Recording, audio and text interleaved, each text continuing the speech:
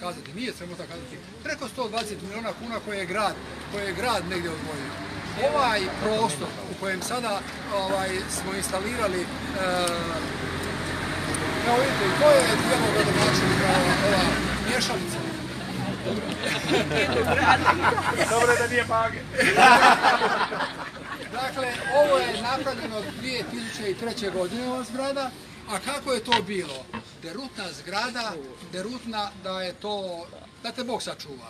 I dolazi e, gradonačelnik, tada je to bio njegov prvi mandat, on i Šostar i dođemo ovdje i nakon toga gradonačelnik kaže ovo se treba sanirati. Dakle, i tako je to počelo, to je bila 2000. godina, 2003. godine je to bilo gotovo.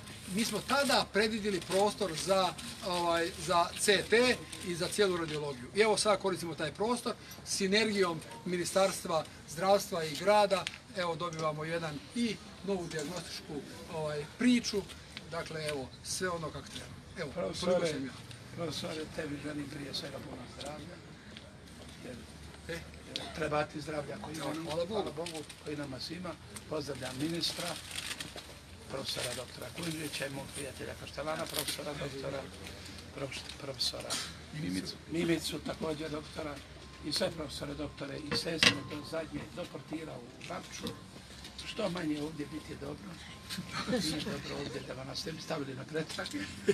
Ovaj, popra- popravi ovaj štokar i kamen, vidiš, puka je to je dođe, da ne bi neko strga nogu. Mladen, šef Da. službe odmah. I ja ću reći jednu jedinu rečenicu. Hvala svima koji su sudjelovali od 2000. do danas na čelu sa našim ministrom sada za CT.